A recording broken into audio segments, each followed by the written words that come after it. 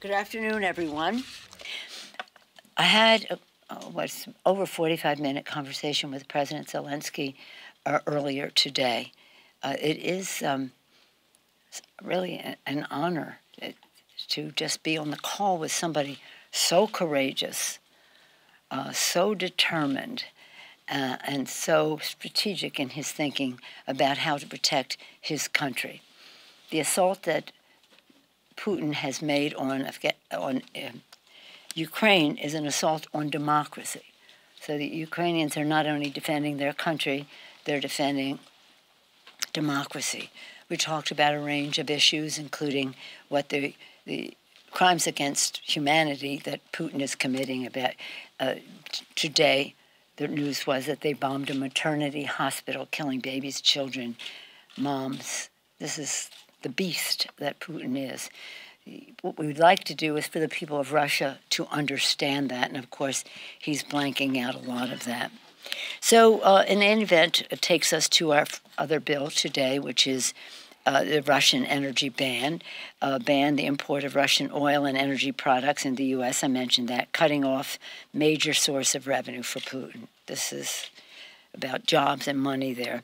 Take steps to review Russia's access to WTO and explore how to further diminish Russia in the global economy, um, reauthorize and strengthen the global Magnitsky uh, human rights accountability, staving off some of the assaults on America's working families uh, that the Republicans continue to be engaged in. He, one of the things he called upon, of course, he wants planes, he wants anti-missile uh, weaponry, he wants armored cars. He wants a number of tanks, but he also uh, uh, he wants the planes, the planes, the planes. You know that. But he also said that we're going to need everybody's help in rebuilding Ukraine soon as we end this war. He was very positive about that. Um, what did he have to say about that, and where do you stand on that? Well, I I had um, last week and this week conversations with the speaker of the of the Parliament of Ukraine, and that was and, and correspondence that he's sent us and the rest, that has always been one of the things they ask for. But they know that we can't go there. Uh, the, the, Putin is trying to bait the trap so that uh, we go in, and that's the beginning, could be the beginning of World War III. Uh, Putin totally irresponsible using weapons that are not allowed under the Geneva Convention. Putin, who uh, threatens use of chemical weapons, um, nuclear, and the rest. So they know that we can't, but it's the ask. Now, he was uh, this morning uh, more.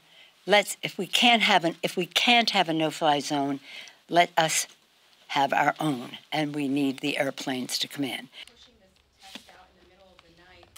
No, no, no, no. This morning he was less on the on the ask for the um, uh, the policy more on let us do it, help us get the planes. But also, there is a school of thought that thinks the anti aircraft missiles and the rest are a very important way.